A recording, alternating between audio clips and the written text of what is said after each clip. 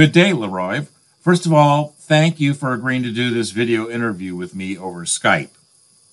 Oh, you're welcome, Guy. Uh, more, more, than happy to do it. Uh, I'm excited to have this discussion. Very cool. Thank you. For our audience, would you please introduce yourself and tell us where you grew up? And um, I understand that uh, after high school, you went off into the Coast Guard. Can you can you tell us about where this all started for you? Okay. Uh, actually, most people can probably tell from my accent. I grew up in the South. I lived in Montgomery, Alabama until I was 14, then moved down to just outside of Tampa, Florida. Um, when I graduated high school, I actually had a, a, scholarship at the University of South Florida and decided uh, not to do that. I, I, I, wasn't really sure what I wanted to do with myself when I grew up, but I, I did want to um, get a little bit of experience. I was considering uh, marine biology and I talked to the Coast Guard recruiter, and they had a rating called Marine Science Technicians that did meteorological and oceanographic stuff. And I said, hmm, that sounds good. So uh, I enlisted in the Coast Guard specifically to become a marine science technician. And I figured I could get some experience, and four years later, I could get out. I'd have the GI Bill, and if I really wanted to do the marine biology thing, I, I, I could. Turns out I had a great time in the Coast Guard, and I decided to reenlist and uh, 22 years later, I retired from the Coast Guard as an E9, a Master Chief. I could have stayed in a lot longer, but I wanted to get started on a second career before age became a bigger barrier than what it is in the civilian world. Mm-hmm. So, um, my 10 of my last 12 years uh, in the Coast Guard, I was at the Coast Guard Training Center in Yorktown, Virginia. I originally went there as an instructor to introduce computer stuff into the curriculum. Then I became the senior instructor, and then I took over the school. I was the school chief. And uh, one thing that's different in the Coast Guard than probably a lot of civilian organizations is jobs and job tasks are very well defined. There are job performance requirements for, for pretty much everything. Mm-hmm. If there's some new piece of equipment or, or some new job task that uh, com- becomes available, there's a job task analysis and then there's job performance uh, requirements and qualifications that are established for that. So uh, I really enjoy what the Coast Guard does in, in their training because they have to be lean because the organization is so small. Altogether, there's less than 40,000 active duty officers and enlisted in the Coast Guard. New York City's got a bigger police department than the entire Coast Guard. Mm-hmm. So with an organization that small, you can't afford to have somebody not on the job, sitting in a classroom for extended periods of time, covering nice to know things as opposed to need to know things. And it's performance based uh, because the whole point of training in the Coast Guard is to improve someone's ability to perform a function. So, yes, you don't find that uh, rigor in the civilian world. Um, the consequences are much different, of course, and so that's probably yeah. what what drives a lot of that. Um, so, what during your time in the Coast Guard, you spent time doing ISD, instructional system design type work. Uh, what are some of the more interesting projects that you worked on as an ISDer? In the Coast Guard, and then uh, I've got a, another one from after I left the Coast Guard when I was at Apple.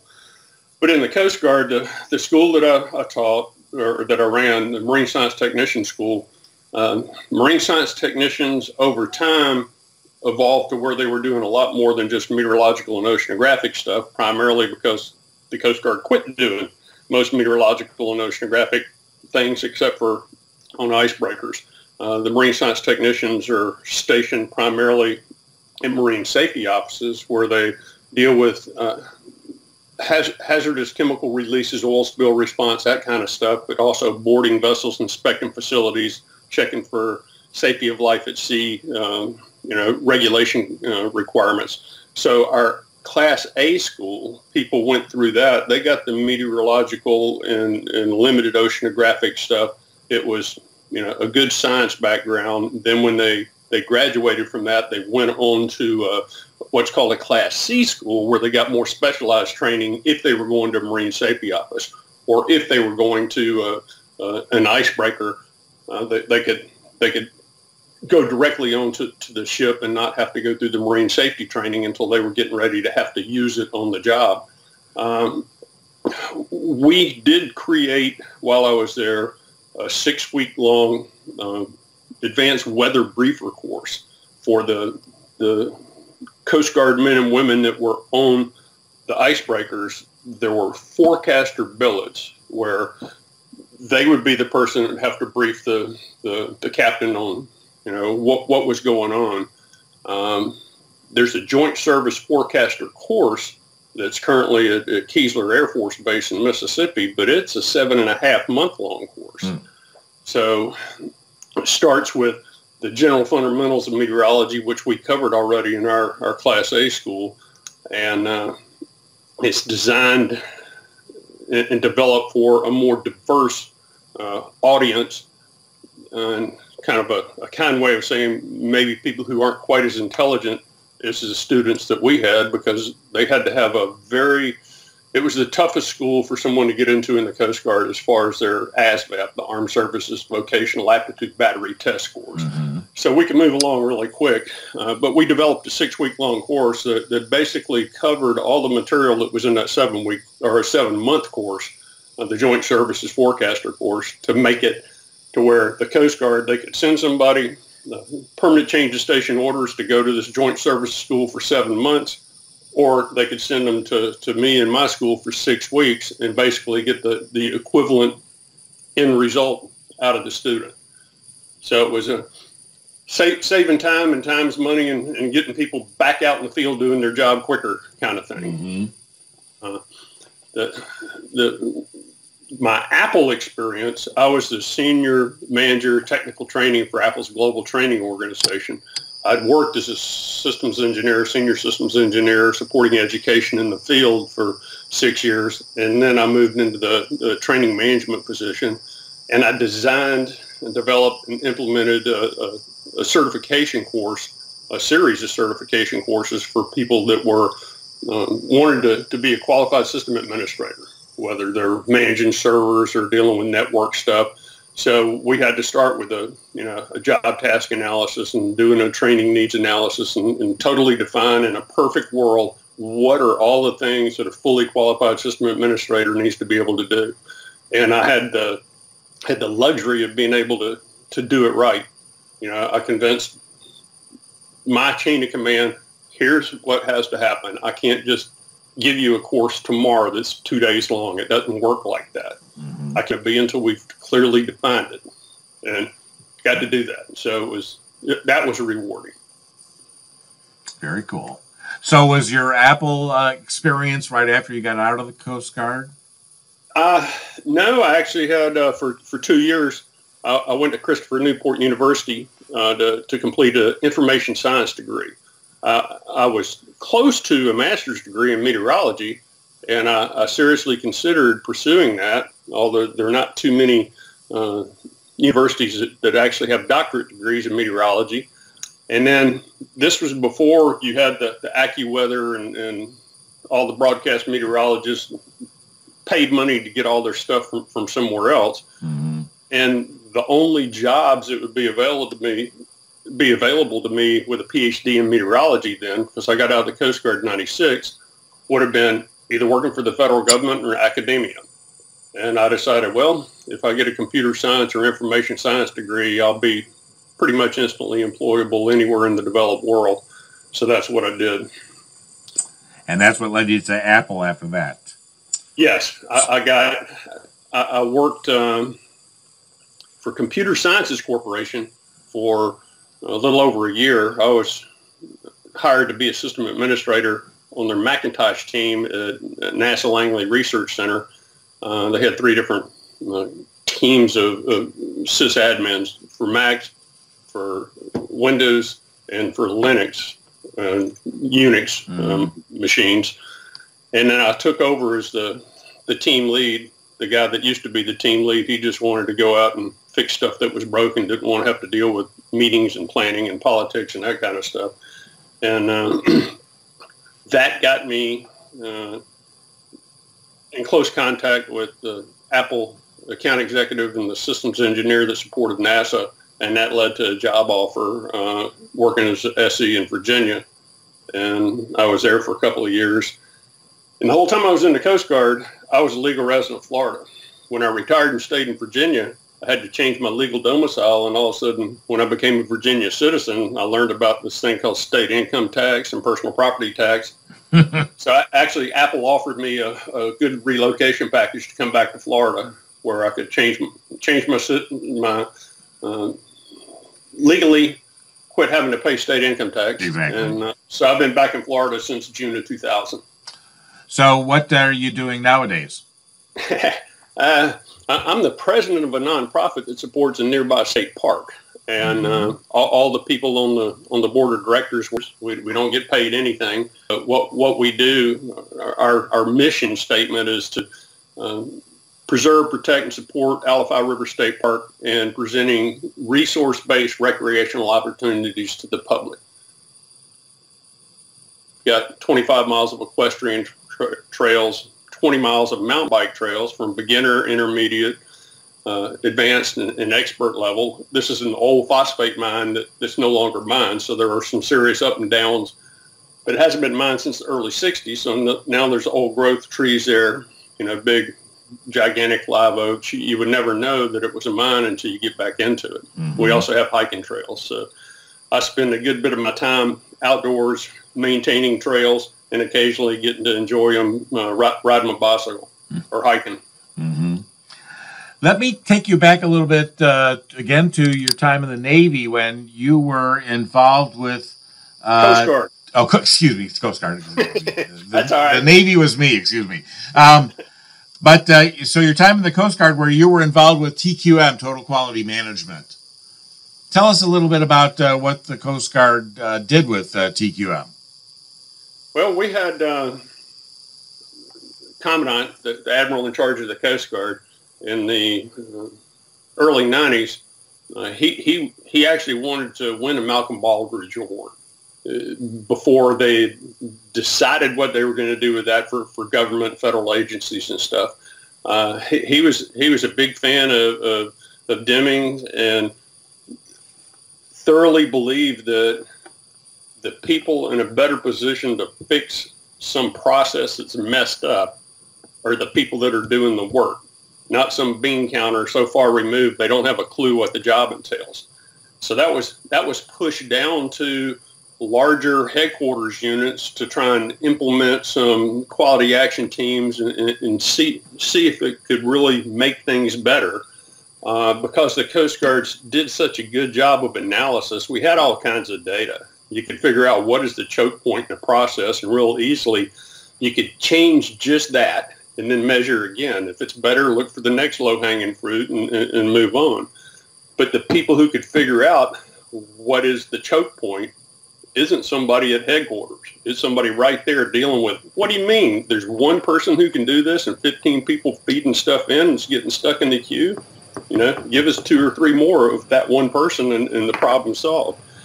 So I got involved. Um, I was at the Coast Guard Training Center in Yorktown, which had a, a staff of about 600 uh, military people and probably 100 civilians that were educational specialists that, that were involved in the training development process. And uh, got involved as a, a, a, TQM facilitator. And then I went around and, and, helped some other quality action teams get established, and I, I would be the facilitator in, in their, their meetings and also chaired a few that were uh, cross command Coast Guard training. They had more than one training center. Elizabeth City, North Carolina is where they did their aviation stuff. And they had some Petaluma, California, where they had electronics technicians and, and culinary specialists and some other things. But I, I was in charge of some quality action teams where we tried to come up with some uniform ways of doing things. And the, the, the my favorite one that I worked on was to come up with leadership training for the E3s that were going to Class A schools who would, if they passed the course and they had enough time in uh, in the E3 pay grade, they would come out a third class petty officer in the E4. Uh, why it was significant in the Coast Guard going from E3 to E4 is the delegation of authority for law enforcement that goes from the Secretary of, at the time it was the Department of Transportation, now it's Homeland Security, goes to the commandant, and it goes right on down the chain of command, but it can't go below the E4 level. So, to be a, a, boarding officer where you, where you have a weapon, you're in charge of, of a team to, to go on uh, to do a, boarding, whether it's fisheries or, or immigration or, or, or drug enforcement. All of the school chiefs, like I was, I was the chief of the Marine Science Technician School, the MST school. It was up to me to decide if somebody successfully completed the course, did they display proper petty officer potential where they should also be advanced and but there were no standardized rules for that between different schools and between the different training commands. So we did come up with some standardized. Uh, we, we, did term performance objectives, skill and knowledge objectives for petty officer potential, just the leadership at, at the at the lower level, and um, there were leadership schools available, but not for E3s to go to. Hmm. They're they're they're too junior. Uh, the, the leadership kicks in after somebody's on a second enlistment. You know, if they're E5, E6, and for officers, uh, they, they had their uh, a junior officer leadership management course, but there was nothing for the junior enlisted people. Thank you. But I got I got to make it happen. And it was cool. Very cool. Thank you. Let me shift gears a little bit here, and uh, this series of videos is entitled uh, nowadays the HPT videos. So HPT, Human Performance Technology, or Evidence-Based Practices for Performance Improvement, or HPI, Human Performance Improvement, various names that this is all known as. Um, but can you tell us a little bit about your first exposure to that? Where was that? Was that back in the Navy? And uh, well, Coast Guard. Uh, Coast Guard. It was actually It, it was actually at, uh, at boot camp at Cape May, New Jersey, uh, when I went there. Mm-hmm. And because before uh, any class where we were going to be taught something, if it was just knowledge that they were trying to impart, Coast Guard history or customs and courtesies, that kind of stuff, they didn't go over the objectives. But if, if there was some physical thing we were going to be taught how to do, they clearly defined up front, here's what we expect you to be able to do at the end of this block of instruction. And if you don't get it, well, you're going to come back over here tonight and you're going to keep doing it until you do get it. Or if you can't, you're going to get bounced out. That's how it works here. Mm-hmm. And it was like, oh, okay, I understand the rules. Uh, then when I got at, the Marine Science Technician School, when I went there as an E3 uh, to become a, a third class Marine Science Technician, I experienced it again, but e- even more so because I'd been in the Coast Guard for a couple of years. I knew this is what I wanted to do, and I was impressed with, with how they structured the schedule and how things were done. Uh, and then when I went back there as a staff member, then I really got into it. I, I think the Coast Guard's um, curriculum development process, I, I tell people who have never been in the military, I think of it as like ADDIE on steroids. Uh, the, the, analysis that has been done, uh, and to get into the design, and I'll I'll talk more about what I mean by design in, a little bit when, when you ask me. But you have the data, you know, the job is clearly defined, so it's easy to come up with terminal performance objectives and enabling objectives. And with an enabling objective, there's two types to me. There's knowledge and there's skills. So, and a, a job is not truck driver. A, a, job in the Coast Guard's ISD methodology would be back the truck up to the dock. Mm-hmm. That, that it's something that has a definite beginning, a definite end, and it doesn't necessarily have to all be done by one person. There mm-hmm. are different tasks that, that, make up that job.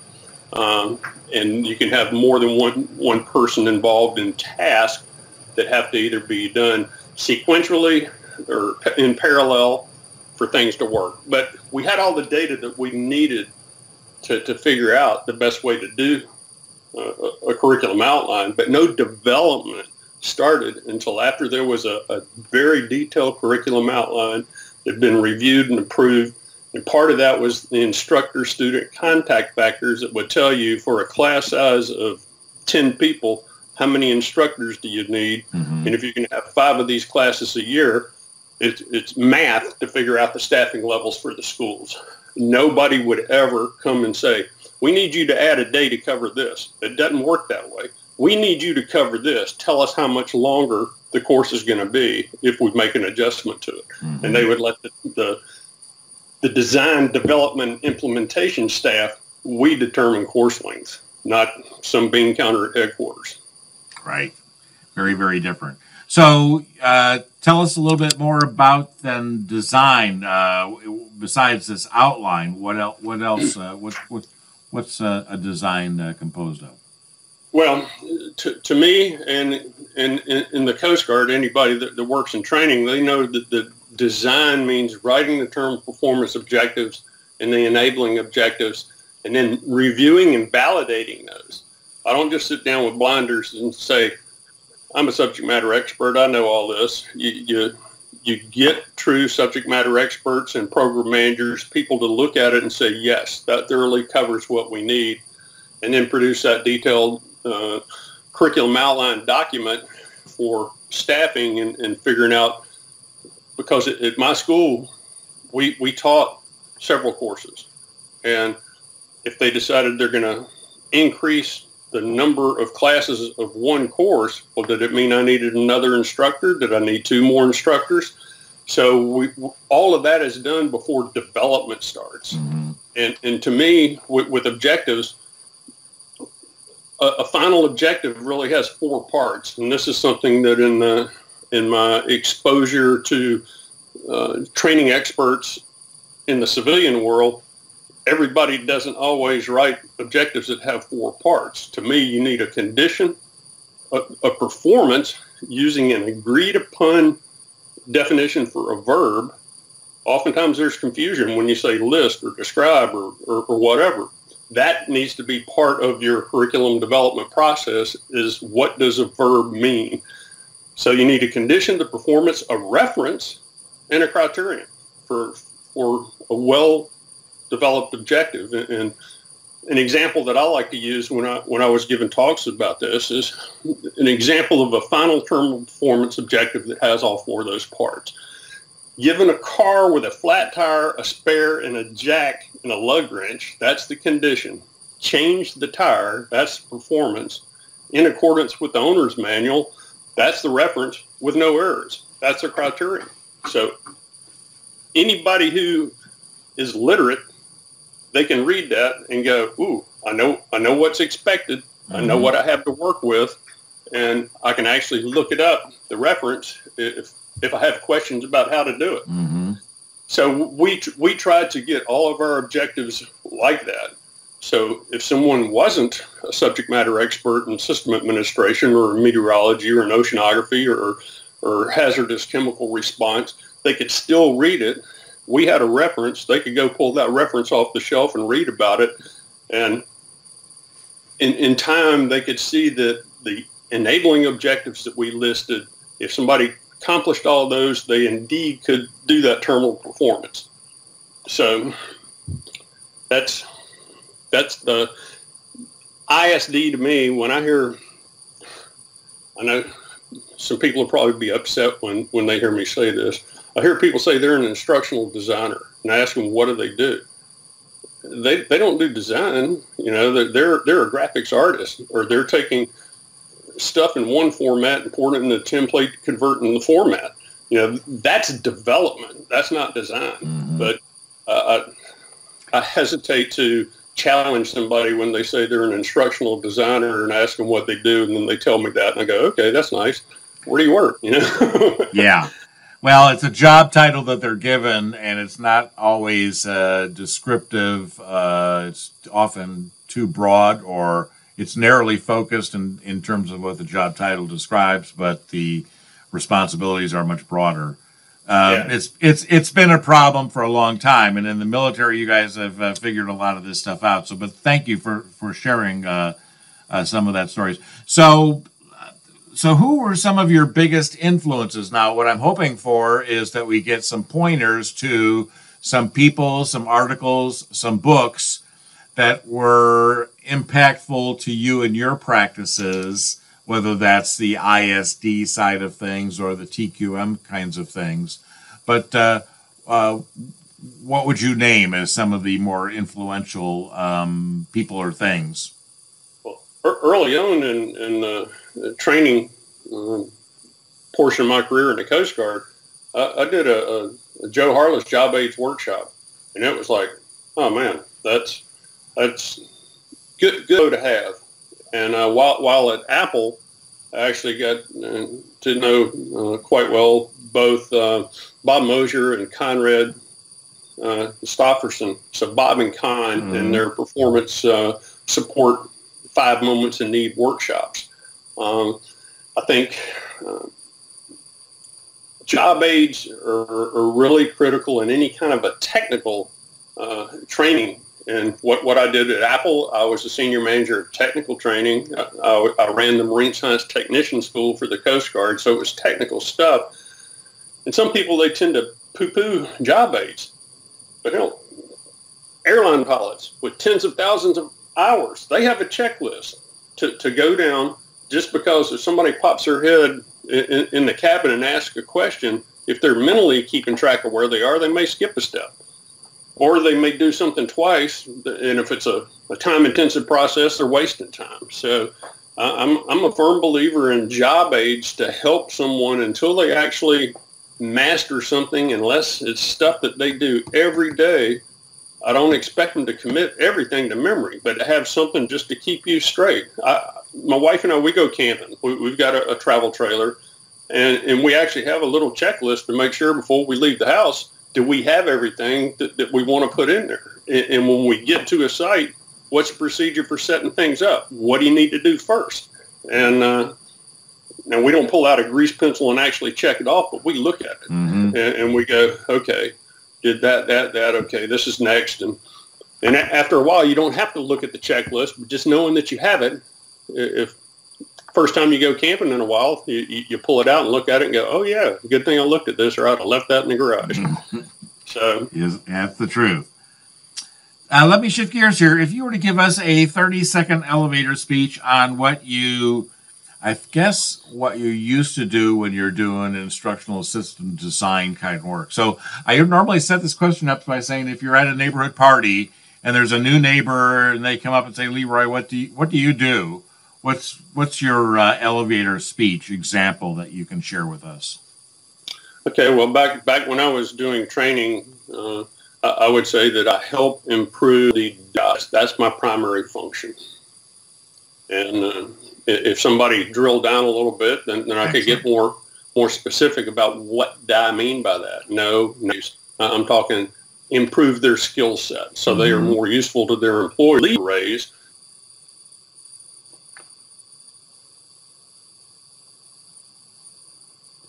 But just giving somebody more money doesn't help them work better, unless motivation was the constraining factor. Mm-hmm. Thank you for that example.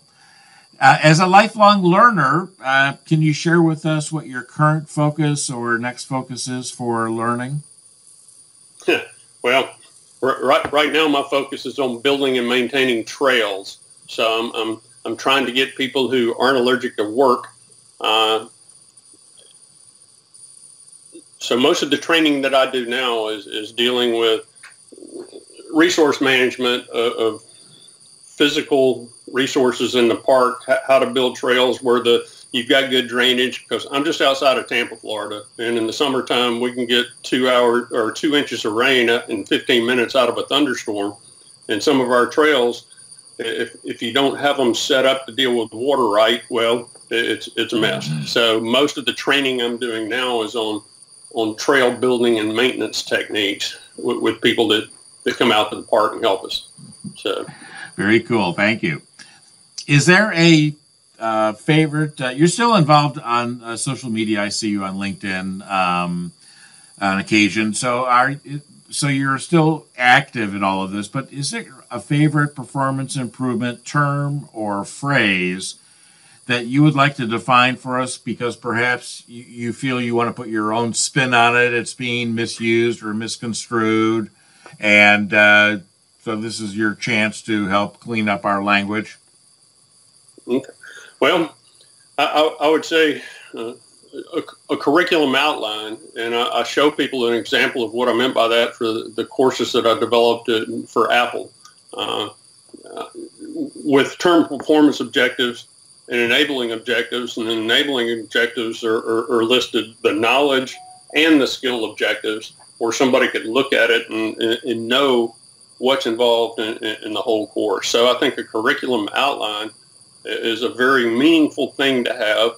If you are a, a training consultant like yourself, if you're trying to sell your business to some corporation, it's nice if you can give them some for examples of what you've done, but also show them behind the scenes, you know, the skeleton. How did you come up with this? So that's where curriculum outlines, to me, I think are important. It, it helps the developers know what to develop.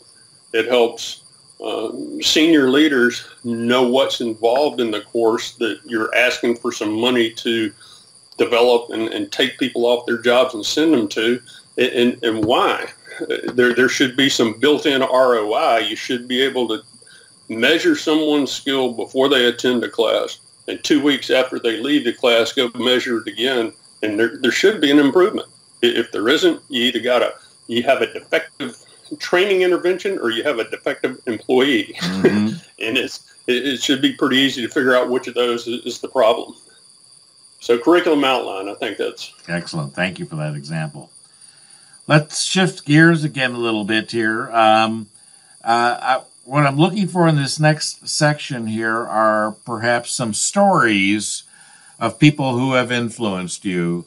So you went to the Harless uh, workshop. Maybe you have a story you can relate uh, uh to uh, share with us about uh, that, whether that was Joe or somebody. But what I'm looking for are are people that are they could be known in the field or really relatively unknown in the field, and you just want to do a shout out and as acknowledgement of the influence that they've had on you. So, if you were to share with us some stories of of people who have influenced you, and uh, what can you share with us? Well, one of one of the people that I think a book that he wrote and uh, a one day seminar that he conducted that, that really it didn't so much help me personally, but it gave me some good ideas of how I could help others with Stephen Covey. And uh, I, I, read I read his uh, you know, the seven seven habits of highly effective people and I had opportunity to go to a, a conference where he was speaking for, for the whole day just about that. And the, the thing that I thought was the most important of all his seven habits is begin with the end in mind uh, and how that relates to training. If, if, if you don't have job performance requirements, if nobody has defined what does success look like, you, you don't have much of a chance of, of designing, developing, implementing any kind of training intervention that's going to move the needle the direction you want it to. It's it's like ready, ready, fire, aim. You, you, you, you've got to know what the end result is supposed to be before you start working or, or you're, you're wasting a lot of time. True. So, um, LeRoy, thank you so much for uh, agreeing to participate with me in this video interview.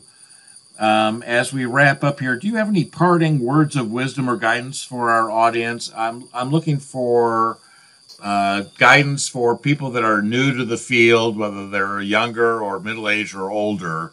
But uh, uh, for people coming into this field, what what's your recommendation? Uh, uh, what would you re- uh, suggest to them? Well, I'd say re- read widely social media and Skype. You, you, can you can interview people just like we're doing, um, but on LinkedIn, join some different groups that you don't have to physically be present.